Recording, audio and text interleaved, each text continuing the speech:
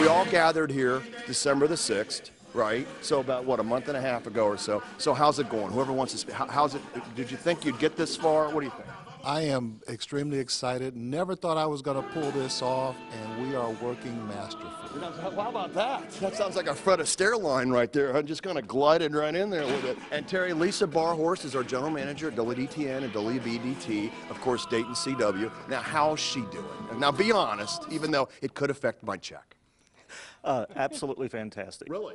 Very good. And Very, Lisa, you've had some dancing uh, experience before, though. right? Yes, but never ballroom. So how easy? What's the transition like? You know, uh, musically, it, it you know I could get into it and use past experience, but all, you know a lot of the technique is different. But I'm having the time of my life. It's awesome. Oh, the Bill Medley song. Let's sing. Ready? Now I've had.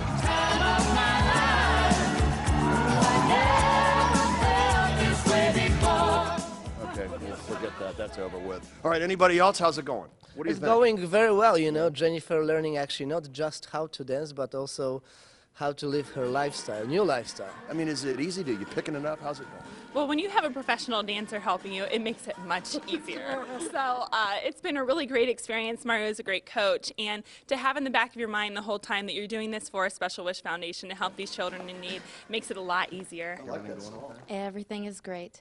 He uh, thought it was going to be a little bit easier, I think, in the beginning, but overall it's been fabulous. He's amazing, and we're doing really good. There are limited tickets left for the event on February 10th at the Schuster Center downtown, but you can still help us out. We've got a great raffle. WDTN.com. Go to Bucher's Beat for more information, and we'll see you down at the Schuster Center. We're ready, guys. You ready to do? it? You ready? You're ready. I'm not doing this. I'm not doing this. All right. Now I've had the time of my life. Forget it, Bucher. I'm over with that. Jim Bucher, 2 News never felt this way before.